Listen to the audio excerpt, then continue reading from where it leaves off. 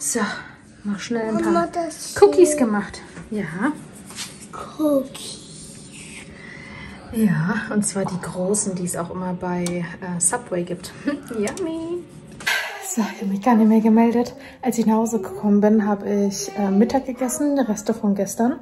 Und habe dann eigentlich tatsächlich die ganze Zeit aus der, ähm, auf der Couch gechillt, bis die Jungs abgeholt wurden. Dann haben wir jetzt eigentlich hier die ganze Zeit, also ich, gemalt, gepuzzelt. Meine Schwester war da gewesen. Und ähm, jetzt hatten wir noch Abend gegessen. Die Jungs sind jetzt gerade ins Bett, ähm, beziehungsweise mein Mann macht gerade irgendwie noch Nachtlicht und sowas an. Wir haben zwischendurch Kekse gebacken. Das sind sie, das sind so riesen XXL Cookies. Genau, die haben wir gemacht. Und wir haben dekoriert. Die Jungs und ich, ich zeig's euch mal, ist aber genau die gleiche Deko wie die Jahre davor sozusagen. So, das von draußen ab. Ähm, so ein bisschen was für Halloween einfach nur. Moment. Ich zeige es euch mal. Und zwar sieht das Ganze so aus. Also hier ist dieses Gespensterding. Dann die Riesenspinne mit diesem ganzen Spinnennetz-Optik, die Spinnen dazwischen. Und wir haben noch unseren Kürbis. Der leuchtet eigentlich super schön, aber die Batterie ist leer. Da muss ich jetzt mal gucken, ob ich ähm, das einfach nur austauschen kann. Keine Ahnung. Ja, das hat dir natürlich super viel Spaß gemacht. Die haben draußen dann die ganze Zeit Fotos gemacht und gefilmt, äh, als es fertig war. Genau. So. Ähm, ja. Soweit, so gut. Spülmaschine muss noch angemacht werden. Waschmaschine ist gerade fertig geworden. Und ich bin heute tatsächlich nicht viel weitergekommen mit meiner To-Do-Liste. Es sind wenige Haken an der Seite. Eigentlich nur Halloween dekorieren. Aber gestern habe ich einen großen Punkt abgehakt, weil ich wollte, die, ich hatte hier ähm, in diesem Board, hatte ich ganz, ganz, ganz viele Ordner. Und die wollte ich nämlich wegmachen damit ich dieses Ding hier reinmachen kann. Genau, das hatte ich jetzt schon die ganze Zeit hier unten gehabt, ähm, um Malia immer mal wieder zu wickeln. Und ähm, ja, das ist dann halt eben für Malia und Lara. Deswegen habe ich dieses Fach freiräumen wollen. Und da waren richtig viele Ordner drin gewesen und die habe ich dann mal rausgeholt und hochgebracht, aber davor komplett geordnet. Ich war da bestimmt anderthalb Stunden mit beschäftigt, weil ich die letzte Zeit gar nicht mehr Ordnung gehalten habe. Ich habe einfach nur, wenn irgendwas gewesen ist und abgehakt war, gefühlt da reingeschmissen und gar nicht mehr abgeheftet richtig. Das hat tatsächlich eine Zeit lang gedauert.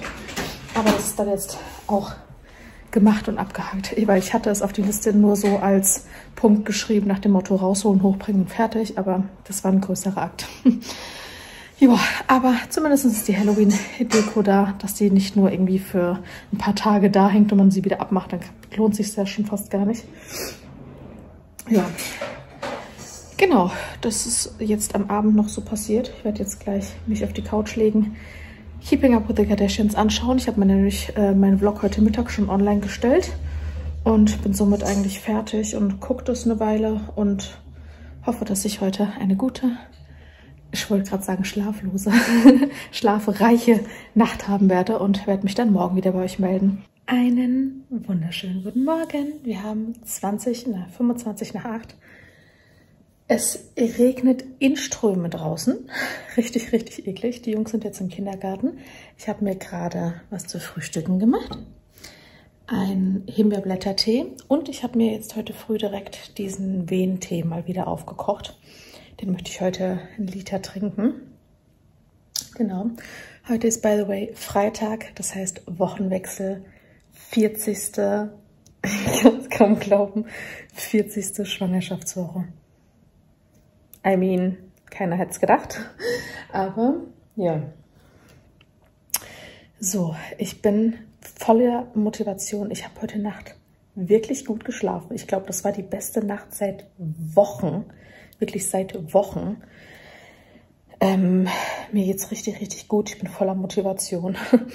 Der Lias hat später seinen Logopädentermin und ich habe später meinen Hebammentermin. Genau, diese zwei Termine sind für heute oder stehen für heute an. Und ansonsten möchte ich versuchen, meine To-Do-Liste abzuarbeiten. Ich denke, das werde ich auch ganz gut hinbekommen, weil ich fühle mich wirklich gut. Also ich glaube, es hat wirklich was damit zu tun, dass ich jetzt weiß, dass es eben nicht noch drei Wochen oder so gehen könnte. Ähm, dass sozusagen ein Ende der Schwangerschaft in Sicht ist. Also theoretisch fünf Tage noch.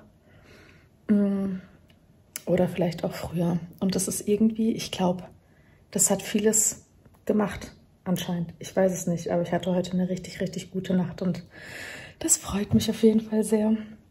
So, jetzt starte ich aber erstmal mit dem Frühstück, mit meiner Arbeit und ja, dann melde ich mich später wieder. So, jetzt hatte ich den Lias ähm, vom Kindergarten abgeholt, zum Logopäden gebracht und bin dann wieder nach Hause. Die Hebamme war jetzt da gewesen. Wir haben alles ähm, einmal besprochen. Ich habe ihr davon erzählt, dass ich eine Wunscheinleitung haben möchte. Das wusste sie alles noch nicht. Und sie hat sich alles mal aufgeschrieben, die ganzen Termine. Und dann hat sie noch Herztöne abgehört und äh, getastet und so weiter. Es sieht auch alles super aus. Und ja, haben einfach das eine oder andere so ein bisschen besprochen. Und ja, das war es eigentlich. Also sie war nicht lange da gewesen, vielleicht 25 Minuten oder sowas. Ging eigentlich relativ schnell. Dennoch habe ich es nicht geschafft, den Lias abzuholen. Das hat mein Mann jetzt schnell gemacht. Und ja, ich habe jetzt gerade meinen ähm, Vlog beendet, was ich heute Morgen angefangen habe. Ich habe jetzt aktuell, ich glaube, vier Videos oder sowas im Petto. Das ist richtig nice. Das ähm, macht mich auch so innerlich ein bisschen ruhig, dass ich da so ein bisschen vorgearbeitet habe. Genau, ähm, jetzt gehe ich kurz zu meiner Schwester rüber. Wir wollen nämlich ähm, noch weitere Handabdrücke machen von der Kleinen. Genau. Und dann ist auch schon, weil wir haben jetzt halb zwölf, danach werden wir wahrscheinlich äh, Mittagessen und dann danach, nach dem Mittagessen, mache ich mich an meine To-Do-Liste ran. Das ist der Plan. So, jetzt gibt's Mittagessen. Leckere Wraps. Ich habe das gestern schon vorbereitet gehabt, ähm, das Fleisch und Co. Hat mein Mann nämlich gestern Abend schon gegessen. Meine Schwester und ich essen jetzt. Ähm, genau. Mache ich gerade in der Mikrowelle warm mit Käse und dann kommt dann noch Tomatengurke, Salat, Joghurtdressing, ähm, scharf und ein paar Gewürze. Yummy! So, Dille. Wir haben ähm, unsere Wraps gegessen. Ich habe noch einen Joghurt gerade gehabt und jetzt bin ich äh, direkt, bevor ich vor Müdigkeit mich einfach hinlege, direkt nach oben und ähm, mm, Sonne, hallo, long time no see. Ähm, und fange jetzt direkt an, meine ähm, Liste abzuarbeiten. Genau. Ich ähm, habe jetzt vor, unter anderem diese Türknäufe an die drei Türen noch zu machen. Und dann habe ich ja noch dieses Netzding, diese Kiste, also dieses, diese Schublade, Netzschublade von Ikea. Die muss da noch rein. Und habe ein bisschen was mit Klamotten zu machen, weil ich hier ein, ähm, also einige, einige Klamotten habe, die eingeräumt werden müssen, die vorher auch in so einer Netzschublade waren, die jetzt aber vielleicht hier blöd aussehen, keine Ahnung. Ich bin auch am überlegen, ob ich ein paar von diesen krassen Sommerkleidern in eine Kiste packe und die aufs, auf den Dachboden stelle, weil das nimmt halt echt voll viel Platz weg, weil ich unglaublich viele Kleider habe. Ja, bevor ich das mache, gibt es für euch jetzt erstmal ein Aufgebraucht Video oder ein aufgebrauchte Produkte. Ähm, es hat sich nämlich wieder hier einiges angesammelt, deswegen gehe ich da einmal durch. Ich habe hier zwei Duschprodukte leer gemacht. Einmal eins von Rituals. Das ist, ich liebe diese Duftrichtung, ist einer meiner Lieblingsrichtungen. Auch die weiß-rosane mag ich sehr, sehr gerne. Aber diese rote hier, die ist wirklich richtig genial. Ähm, Showergel. Es hat sich ewig lange gehalten. Also bis das jetzt leer gewesen ist, das war wirklich wow, also es war wirklich äh, sehr, sehr, sehr ergiebig. Würde ich immer, oder habe ich in der Vergangenheit immer wieder nachgekauft, würde ich auch in der Zukunft immer wieder nachkaufen. Wobei, also ich gehe da jetzt nicht einfach mal irgendwo zu Rituals oder zu Douglas oder so und kaufe das einfach, sondern ich kaufe das immer irgendwie in Sets oder wenn wir in einem Outlet-Store äh, waren oder irgendwie sowas, weil günstig sind die ja jetzt nicht unbedingt, aber sehr, sehr, sehr, sehr nice. Dann von Balea, das habe ich euch in einer der letzten äh, Hauls gezeigt, ähm, habe ich jetzt direkt mal gebraucht. Duschschaum, ich stehe da momentan voll drauf. Ich habe hier auch die nächste Flasche schon rausgeholt von Nivea. Muss ich nur runter ins Bad mitnehmen. Duschschaum mit süßem Himbeerduft. Fand ich mega genial, war nicht irgendwie zu knatschig süß oder sowas, sondern sehr, sehr angenehm, lecker und hat sich auch relativ lange gehalten. Also habe ich jetzt wirklich, ähm, ich weiß gar nicht wie lange benutzt, aber hat sich auf jeden Fall lange gehalten. Mochte ich sehr, sehr gerne. Würde ich auf jeden Fall nachkaufen. Also der Duschschaum von Balea kann sich sehen lassen. Dann habe ich eine Handseife oder haben wir eine Handseife leer gemacht und zwar die Cotton Flower von der Eigenmarke äh, Sephora ist das. Super leckerer Duft, also richtig, richtig angenehm. Es war so ein sauber Duft, aber noch dazu so, so Creme, also wie so eine Creme, einfach sauber, cremig, leicht blumig, also sehr, sehr, sehr, sehr nice auf jeden Fall. Und es ist zwar eine kleine Verpackung, aber die hat sich auch sehr, sehr, sehr langsam aufgebraucht. Also es hat äh, jetzt hier wirklich eine ganze Zeit lang gehalten. Ich weiß gar nicht, wie viel Milliliter hier drin sind. 235. Oh, das hätte ich jetzt nicht gedacht. Das sieht irgendwie so winzig aus, aber 235 ist ja schon äh, eine Menge. Ja gut, wenn man das sich in die Höhe denkt. Ja. Dann von Denk mit natürlich ganz oft der Hygienespüler ist leer gegangen. Dann auch öfter leer gegangen von Baby Love die feuchten Waschlappen. Lieben wir nach wie vor. Dann auch öfter aufgebraucht sind von sanft und sicher das feuchte Toilettenpapier. Gerade diese Deluxe Kaschmir Variante ist sehr, sehr, sehr, sehr nice. Dann von Abelin habe ich gestern mal wieder die Wattepads nachgefüllt. Da haben wir so einen Behälter und da füllen wir die dann immer rein. Es sind Wattepads, was soll ich dazu sagen? Dann sind hier auch wieder Kinderzahnpasta, äh, Pasten leer gegangen. Irgendwo war auch eine noch von mir, die habe ich jetzt gerade wieder... Also ich muss sagen, ich mache davon extrem viele leer und schmeiße die immer wieder weg, weil das so, so kleine Pröbchen sind und ich gar nicht weiß, ob es die überhaupt zu kaufen gibt. Odontax, das ist extra, also das habe ich ähm, von meinem Zahnarzt bekommen und extra ähm, für empfindliches Zahnfleisch. Die ist sehr, sehr, sehr, sehr gut. Dann ähm, die Elmex Zahnpasta, das ist ja Lias seine Lieblingszahnpasta und die von Signal ist die von Samo. Und die wollen auch keine andere haben. Wir haben schon alles Mögliche probiert, da auch auf die nächste Altersstufe und so zu gehen. Wir müssen es echt jetzt mal durchsetzen. Aber keine Chance. Also der Lias, sobald er irgendwas hat, was ein bisschen schärfer ist, kriegt er seine komplette Krise und verweigert sich irgendwie komplett gefühlt. Naja. Dann von Bübchen das Pflegebad ist leer gegangen oder das Baby-Pflegebad. Sensitiv mit natürlicher Kamille lieb ich, kenne ich aus meiner Kindheit, hatten wir äh, zu Hause immer am Badewannenrand stehen und seit ich alleine wohne auch immer, immer, immer. Ähm, ist schon nachgekauft, steht auch schon wieder am Badewannenrand, also ganz große Liebe. Damit äh, bade ich mich eigentlich nur noch, ähm, weil ich ja so Probleme hatte mit der Haut, mit Juckreiz und sowas. Deswegen nehme ich nur noch solche Babyprodukte, wenn überhaupt, wenn ich dann mal äh, es schaffe zu baden. Ja, von Carefree, die Long Plus Slip-Einlagen. Ich liebe sie. Die äh, haben jetzt eine neue Formulierung, dass die noch dünner sind, noch saugfähiger und so weiter. Also liebe ich. Seit so vielen Jahren. Ich weiß nicht, seit wann ich die benutze, aber seit ich Teenie bin, bin ich da nicht äh, auf irgendwas anderes aufgesprungen. Dann von Nivea die Cremeseife ist leer gegangen. Das ist ja so eine Nachfüllpackung. Ähm, Im zweiten Stock haben wir so ein Doppelwaschbecken mit ähm, so Behältern, wo wir immer auffüllen. Und ganz unten im Bad, da kaufe ich immer solche Sachen, einfach um mal mich so durchzutesten. Aber in dem mittleren Bad haben wir immer unsere geliebte Nivea-Seife. Wir lieben sie.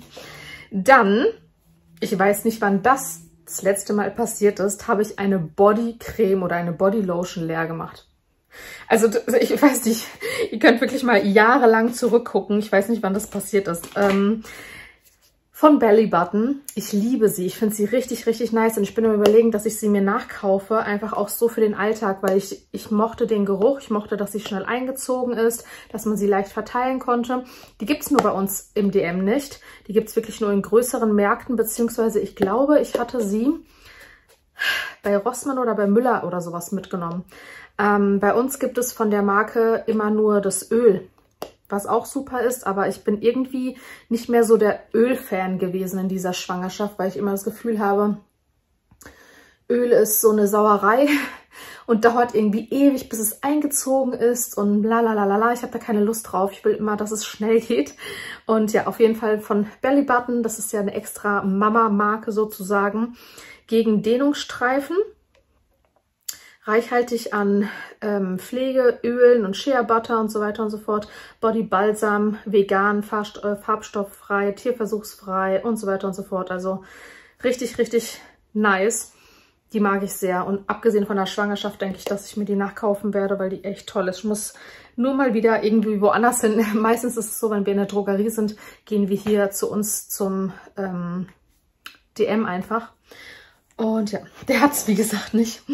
Dann von Evelyn die Maxi Watte Pads sind leer gegangen. Ich glaube, dazu muss ich auch nicht großartig was sagen. Ich mag die einfach unheimlich gerne.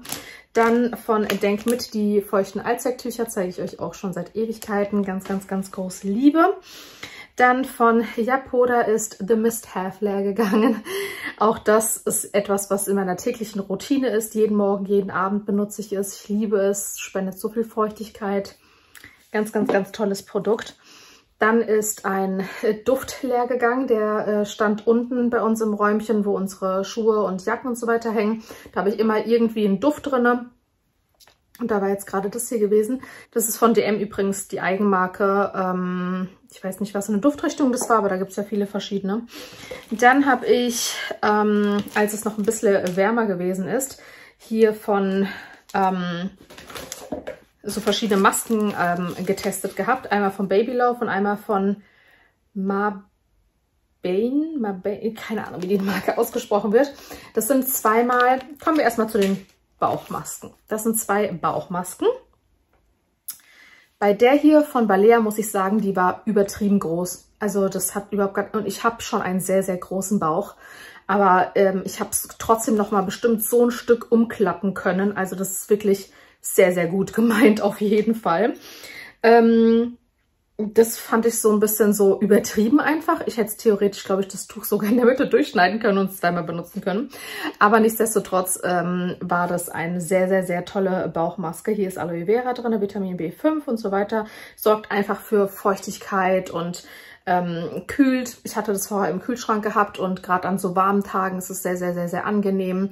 Ähm, es war ein weiches Tuch und auch das dann, wenn man das abgemacht hat, das ist schön nochmal eingezogen. Also das würde ich auf jeden Fall empfehlen. Die fand ich super. Und bei dem hier ähm, war es so gewesen, das Tuch war ein bisschen kleiner. Es hat wirklich so auf den Bauch gepasst, ohne dass man viel Überschuss oder sowas hatte. Ähm, hier ist auch, also ist auch jetzt hier veganes Produkt, parfümfrei und so weiter und so fort. Kalt-warm kann man es anwenden, je nachdem, wie man es gerade haben möchte. Und hier ist auch zum Beispiel Aloe Vera drin, Gurken und so weiter für die Schwangerschaft äh, zur Hautpflege oder eben auch für nach der Geburt. Und verbessert einfach die Elastizität und unterstützt das Bindergewebe. Hier ist auch Hyaluronsäure drin und ich fand die auch super. Ich weiß nicht mehr, wie die vom Duft war, aber ich glaube, die waren beide so relativ neutral, gar nicht irgendwie penetrant nach irgendwas gerochen oder sowas. Also ich fand die beiden wirklich gut. Aber dadurch, dass das hier viel, viel teurer ist als das hier, würde ich dann eher das hier benutzen. Dann leider ein Flop-Produkt, ein absolutes Flop-Produkt, sind diese Beinbinden. Mm, ich hatte sie angewendet, nachdem ich baden gewesen bin und eh schon so ein bisschen Juck Juckreiz hatte. Das hätte ich nicht unbedingt machen sollen. Aber mir haben ganz, ganz viele geschrieben, auf Instagram habe ich das nämlich gezeigt, dass es irgendwie voll das Flop-Produkt war. Mir haben da ganz viele geschrieben, dass sie genau das Gleiche hatten, dass sie ein absolutes Brennen gehabt haben. Die eine hat sogar gesagt, mein Mann hat, hat gesagt, dass ich mich so anstelle und hat sich das selber dann umgewickelt und selbst er konnte es irgendwie nur ein paar Minuten aushalten. Man soll das Ganze nämlich eigentlich 10 bis 15 Minuten drauf lassen. Keine Chance. Also das sind im Prinzip so lange Bänder. Es ist wie so eine Kompresse, so eine ganz lange, die man sich dann halt eben drum wickelt ums Bein. Ähm, genau, kann man auf die Waden machen oder bei mir hat so, ich habe es an den Knöcheln angefangen und es ging so bis zur Mitte vom Oberschenkel ungefähr. Also man kann da wirklich einiges mit wickeln. Ähm, und hier ist Panthenol, Minze und äh, roter Weinlaub äh, drin. Und ähm, soll einfach in der Schwangerschaft sein für schwere, müde Beine, um das bisschen so ja zu erholen und irgendwie so ein, ja, entlastende Wirkung zu geben. Aber Leute, erstens, wenn man das die ganze Zeit einatmet, ist es einfach so penetrant nach Minze. Also dieses, dieses Pfefferminz, das ist einfach so das ging gar nicht. Dieser Duft hat mich extrem genervt. Also ich habe währenddessen Fernseher geguckt und mir nur gedacht so, boah, wie schrecklich. Also vom Duft her gar nicht meins. Aber noch viel schlimmer ist, das ist wirklich wie, wenn man sich so einen richtig scharfen Pfefferminz-Kaugummi oder Bonbon in den Mund steckt und es die ersten Minuten, Sekunden so richtig scharf ist, so bevor man erstmal so dieses erste weggekaut hat sozusagen. Dieses richtig scharfe, penetrante. So war das wirklich auf den Beinen. Das war so richtig es war einfach unangenehm. Es war nicht schmerz, schmerzhaft, aber es war extrem unangenehm. Es war einfach kein Wohlfühl-Spa-Moment, sondern einfach so dieses, boah, wann sind die Minuten um, wann kann ich das wieder wegmachen, weil es nervig gewesen ist. Also absolutes Flop-Produkt. Viel, viel zu krass dosiert anscheinend mit dieser Minze. Ähm, auf gar keinen Fall eine Kaufempfehlung.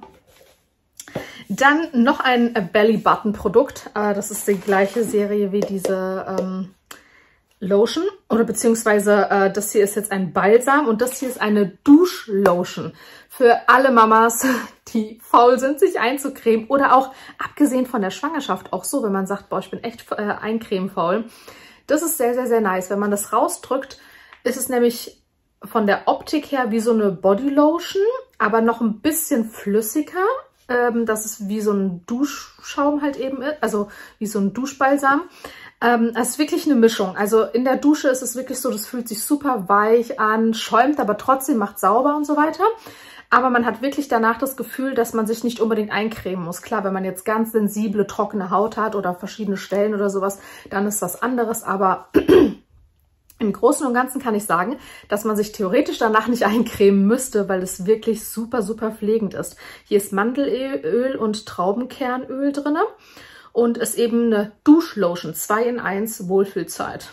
Intensive Pflege, ohne Farbstoffe, vegan und so weiter und so fort. Also richtig, richtig nice. Ich liebe diese Marke, die haben echt, ich hatte da noch nie ein Flop-Produkt, die sind wirklich richtig, richtig gut.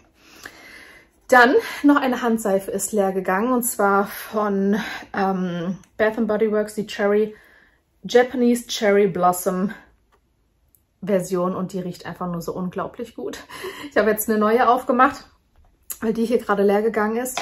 Ähm, auch von Bath Body Works, aber die Cherry, die Black Cherry Variante, auch ganz, ganz große Liebe. Also jetzt, ich glaube, ich habe nur noch eine Flasche, also ich muss echt gucken, wo ich das herbekomme. Aber ich weiß, es gibt verschiedene Online-Shops, wo man das bestellen kann, aber die sind halt so gestört teuer. Also mal sehen, wann wir irgendwann mal wieder in die Staaten kommen, dann werde ich auf jeden Fall wieder aufrüsten. Genau.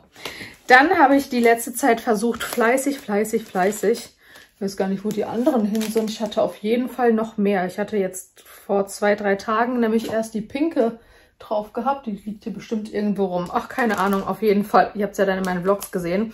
Habe ich versucht, ähm, ganz viele Pads und so weiter mal aufzubrauchen, damit der Kühlschrank ein bisschen leerer wird. Ich habe so unglaublich viele Masken da drin.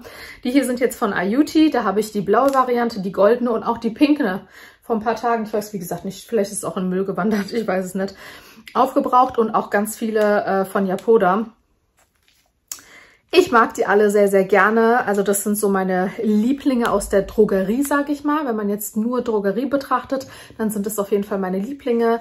Die sind so richtig schön gelig, ohne dass sie dann halt eben nach einer Zeit austrocknen oder so. Also die mag ich sehr gerne, die sind sehr reichhaltig. Und dann habe ich noch ein Produkt, mh, hm, nicht aufgebraucht, sondern eher ausgemistet. Und zwar war das von EOS. Es ist unglaublich alt, dieses Produkt. Ähm, es war aber noch eingepackt, eingeschweißt, deswegen dachte ich, behältst es einfach mal, vielleicht ist es ja nice. Und ich hatte es jetzt letztens ausgepackt und mir hier auf den Tisch gestellt und wollte es dann letztens benutzen, weil meine Lippen so unglaublich trocken geworden ist, sind. Diese Bälle, waren ja eine Zeit lang extrem gehypt. Ich glaube, ich hatte jede Farbe und habe die auch wirklich richtig krass benutzt. Auf jeden Fall lange Rede, kurzer Sinn. Das stinkt. Das ist äh, eigentlich ein Melonenduft, der unglaublich gut riecht. Das war einer meiner absoluten Lieblinge, deswegen hatte ich davon auch noch ein Backup. Das riecht aber einfach nur nach irgendwas künstlichem, Plastik, ähm, irgendwie äh, Knete. Das riecht nach Knete, genau nach Knete. Ja, Mann, das ist Knete. Es riecht wirklich nach Knete. Es ist so ekelhaft. Dieser Geruch äh, ist nicht nice und deswegen gehe ich davon aus, dass es einfach kaputt ist, gekippt ist, whatever. Deswegen habe ich es aussortiert. Ach, hier ist es doch. Da nicht die pinke, sondern die rosene Variante, beziehungsweise die sind dann aber pink mit äh, Grapefruit. Genau, mag ich auch sehr, sehr gerne. So, das war's. Das sind die aufgebrauchten Produkte der letzten Zeit. Jetzt mache ich mich mal hier an diese Möbelgeschichte ran, die ich gerade schon gesagt habe. Und dann gucke ich mal, was ich, ja, was ich als nächstes mache. Ich muss auf jeden Fall noch was drehen, was ich für Sonntag brauche, damit ich das auch ähm, aus meinem Kopf habe, weil ich weiß ja nie, wann es letzten Endes losgeht. Habe ja Hoffnung immer noch, dass es alleine losgeht. Deswegen möchte ich wenigstens so ein paar Sachen erledigt wissen in meinem Kopf sozusagen. Genau. So, das waren die aufgebrauchten Produkte. Ich melde mich später wieder.